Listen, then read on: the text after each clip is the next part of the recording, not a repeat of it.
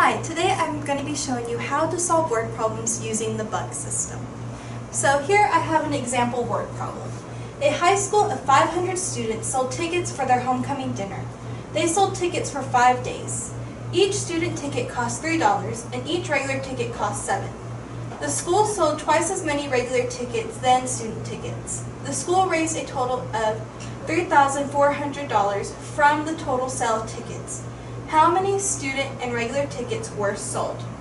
So looking at that, that looks really complex and really intimidating because of how big and how many words there are.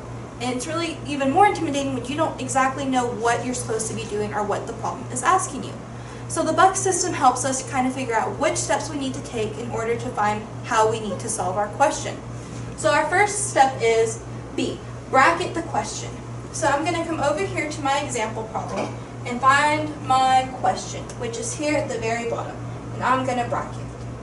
So now I know that whatever I do, my answer needs to reflect my question, which is how many student and regular tickets were sold. Next, I need to underline important vocab. This helps us know which operations we might be doing later on in the problem.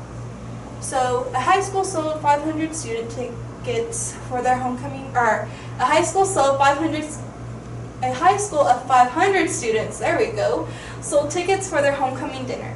They sold tickets for five days. Each student, so each student ticket cost $3 and each regular ticket cost 7 This will let us know that we have multiplication somewhere on when we solve.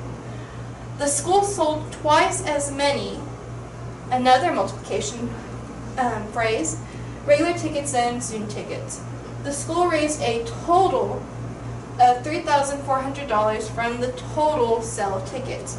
Total allows us to know that we will have our addition later on in the problem. Next, we have C, circle the numbers. And so we know we have 500 students. They sold for five days. Student tickets cost $3.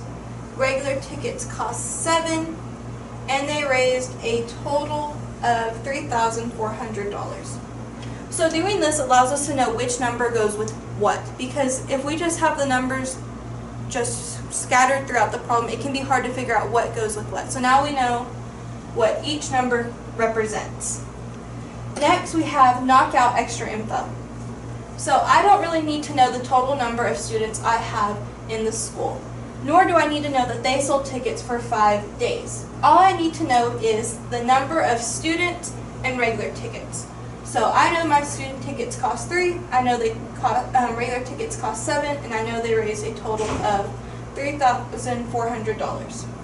And so all that's left is for me to solve. So if I take the information that I have and kind of write it out into equations, I know that my regular tickets are sold twice as many as student tickets. So I can put 2S. So R represents my regular and S represents my students. And I know together they raised $3,400.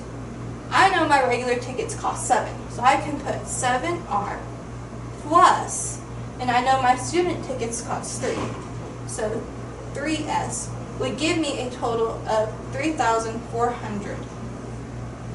And so now I can use the substitution method to figure out how many tickets I sold for each.